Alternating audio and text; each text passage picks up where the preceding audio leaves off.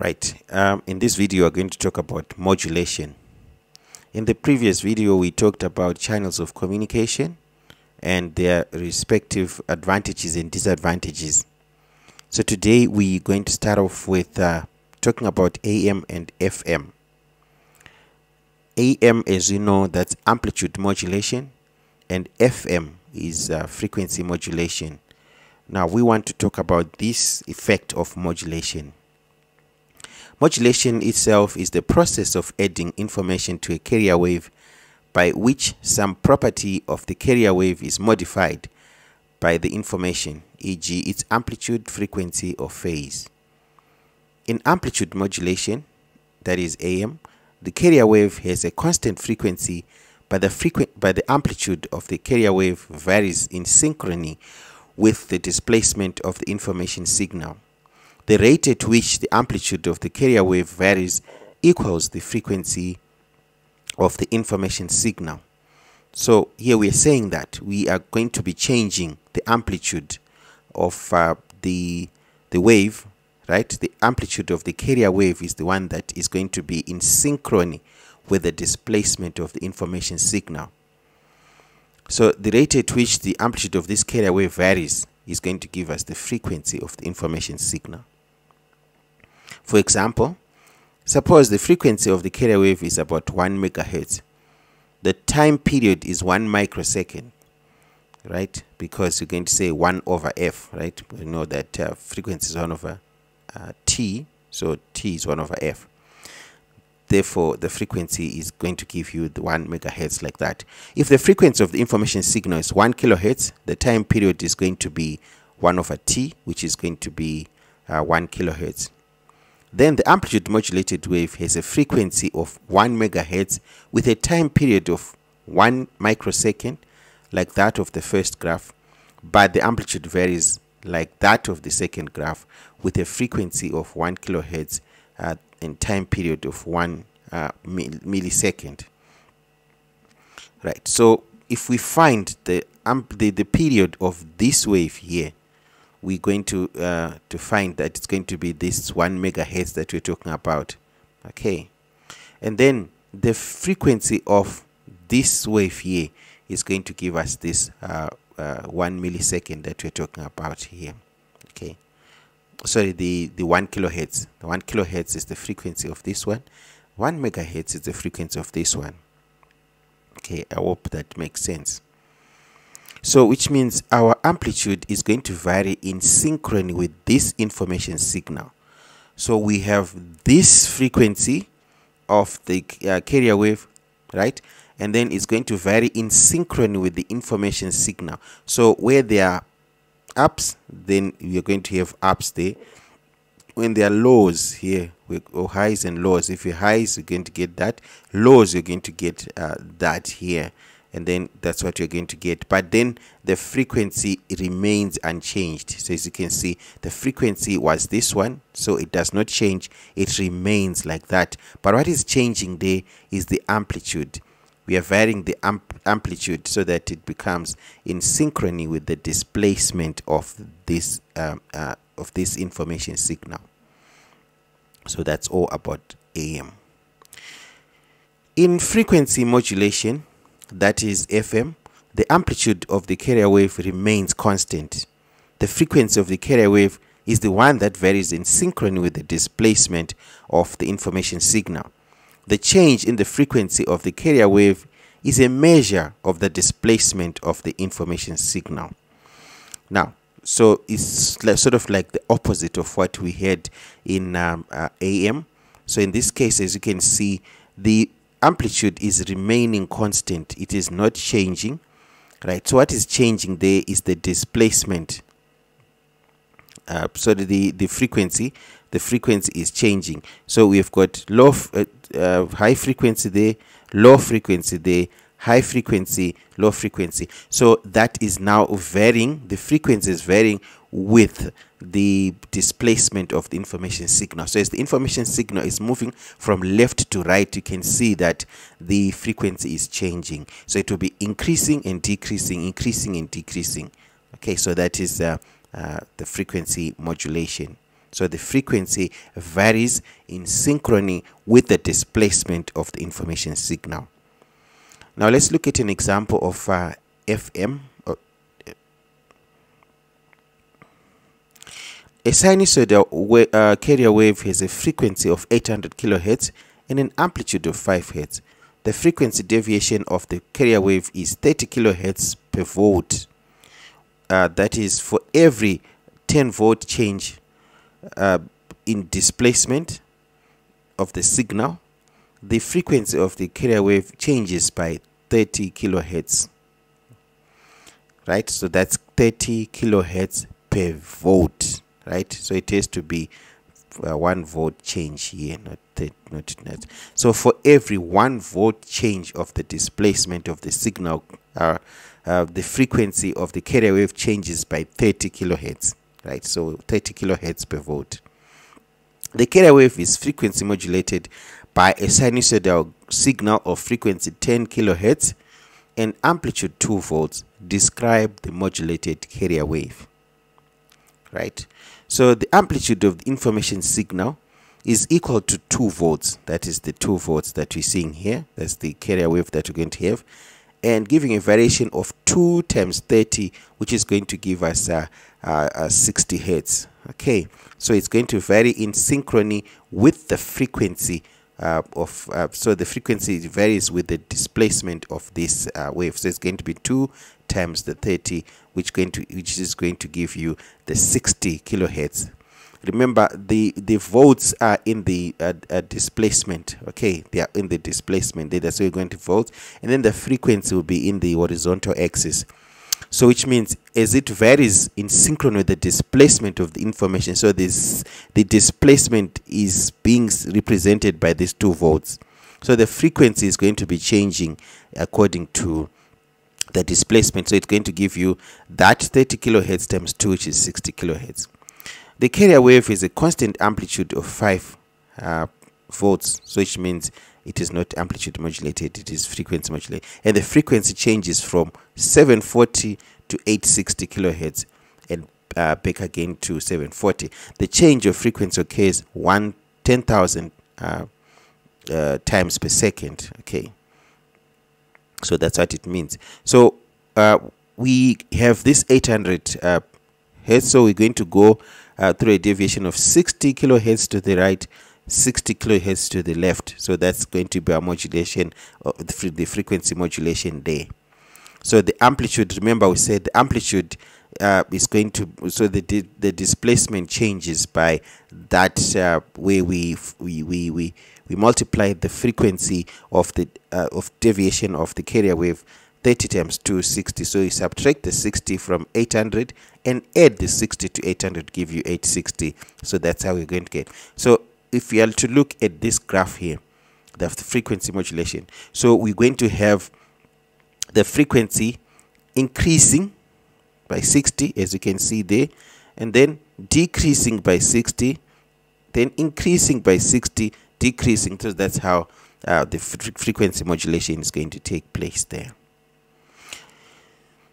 Let's look at the second one again on uh, frequency modulation. The a 500 kilohertz uh, sinusoidal carrier of uh, amplitude 10 volts is frequency modulated by 2 kilohertz sinusoidal information signal of amplitude 2 volts. The frequency of uh, deviation of the carrier wave is 20 kilohertz per volt. Describe how the resulting uh, FM signal changes with time. If the information signal amplitude becomes 3 volts, describe how the resulting FM signal will change. Now again, we first of all need to find our limits. That is, uh, so we need to multiply the 2 by the 20, right? So that is the frequency of the carrier wave by the displacement of uh, the, the, information signal. So it's going to give you um, uh, 40 this time 40 kilohertz so the frequency deviation represents the displacement of the information signal so 20 times the 2 kilohertz of the frequency uh, that's going to be of our uh, information signal. It's going to be sorry by the volts right? So it will be 2 times 20 which is going to give you uh, 40 kilohertz right? But this is 20 kilohertz per volt times the volts giving you 40 kilohertz. Then the resulting fm carrier changes from a frequency of since we we have a frequency given there is 500 kilohertz so it's going to change by 5 to 540 and then also to 460 so we subtract and add the same amount that we found there. So that's going to be our frequency deviation like i showed you on the graph in the first example. Now uh, the resulting fm uh, changes carrier wave changes in a frequency of that to that back to that. The change in the frequency occurs 2000 times per second which is this uh, frequency of the modulation so the frequency of modulation is 2 kilohertz so it's going to be 2000 times per second and the amplitude remains at 10 volts because this is frequency modulation. If the information signal becomes 3 volts then we're going to multiply by 3 volts there. So it's going to be 20 times the 3 volts It's going to give you 60 kilohertz. Now we're going to subtract again the 60 from the 500 and add the 60 to the 500 so we're going to get 540 and 660 okay. Sorry 440 and 660 440 and 560 sorry about that. And back again to 440 again this is going to be 2000 times per second because that is our frequency of modulation. And the amplitude remains at 10 volts because we are not uh, uh, modulating the amplitude now let's talk about uh, bandwidth bandwidth is the range of frequencies occupied by a signal for the am waveform the bandwidth is equal to 2 times the uh, FA. Okay. When the AM waveform is analyzed, it is seen to be composed of the sum of three waves, the separate uh, frequencies. The central uh, uh frequency FC is the carrier frequency, and two side frequencies FC minus FA and FC plus FA known as sideband frequencies, where FA is the frequency of the information signal. The carrier amplitude is greater than the information amplitude. So we're going to have it like that, and then we're going to have two sideband frequencies like that. Okay. So knowing the frequency of the information signal, if you add it to the to the, the carrier wave, you're going to get a side frequency there and a side frequency there. And the bandwidth now is going to be equal to the difference between the this frequency and that frequency. So that's going to be 2 times FA.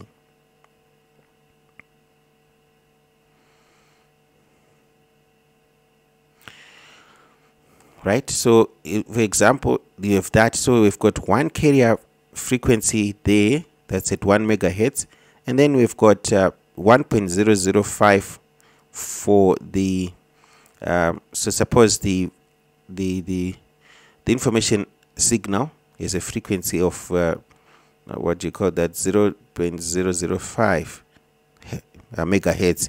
So it's going to be uh, 1 plus 0.005 which gives you 1.005 and then you subtract 0.005 there to give you 0.995 so the frequency is going to be from there to there which is uh, uh, twice the frequency of the information signal. So it's going to be uh, 10 kilohertz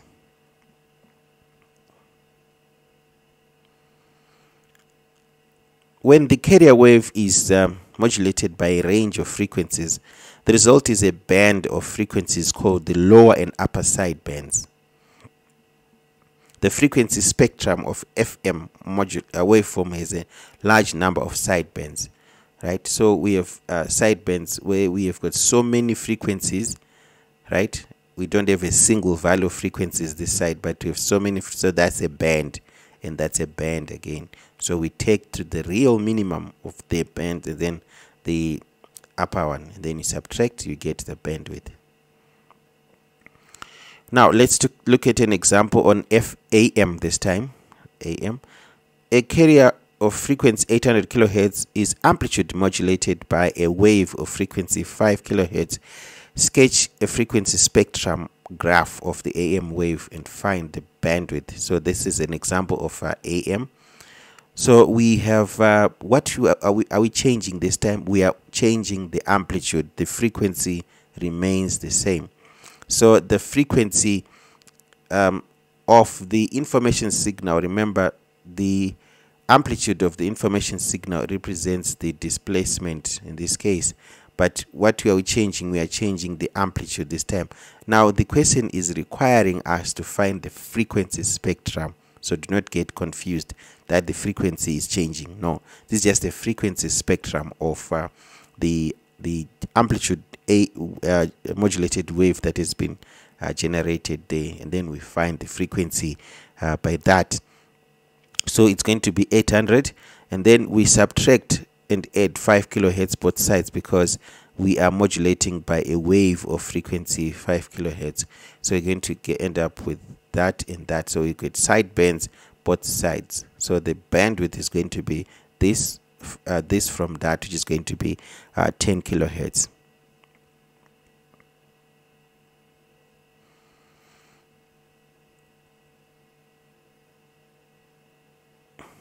Right. Um uh, relative advantages of uh, AM and FM. Now in FM, there's quality reception of uh, the quality of reception is better than the AM. There's less electrical interference and noise. Remember, we define noise that the term is that random, unwanted uh, uh, signal that adds onto the information signal. So AM signals pick up interfering radiation and uh, noise which affect the amplitude of the carrier. But in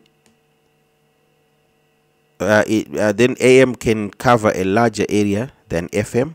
So the advantage of AM is that it can go for a long uh, distance since the frequency, the bandwidth is very low so it has to be compensated by the wavelength. Remember the wave equation f is got um, f v is got f lambda. If you have got a high frequency the amplitude um, so if you have got uh, high frequency the wavelength falls. So we if uh, the frequency is small that is in am we have got a larger uh, distance that it is uh, to travel. So am uses the longer wavelengths than fm so can diffract around the earth. So, but fm is by line of sight. Then fm has greater bandwidth produces a better quality of sound. And uh, the bandwidth the am the bandwidth needed for each am transmission is less than for a fm transmission. So you've got we can have more am stations. That is you can uh, listen to a radio program that's taking place in egypt or in uh, all around the world you can do so but the quality now will be very poor. Whereas in fm you need to have so many stations. Even in one uh, one city you, alone you need to have suppose the the the the quality is high but then the distance is very small. So we need to have so many of these uh, stations. AM receivers and transmitters are less complicated and it is cheaper than for FM right i think i need to end the video here and then I, I want to continue with am i want to give you an example of am where it is um, it is then we can uh, go again to look at uh, digital communication. So i'll combine uh, the video on uh, digital communication together with uh, this am as i gave an example of uh, the, the the waves um, this one here this one here. I want to give uh, okay. Yes I think I've done so already so there's no need for me to do it. This this is the example. But I thought I would give an example a, a concrete example of uh, AM as it uh, varies. Okay. J just like this one. So I'm signing out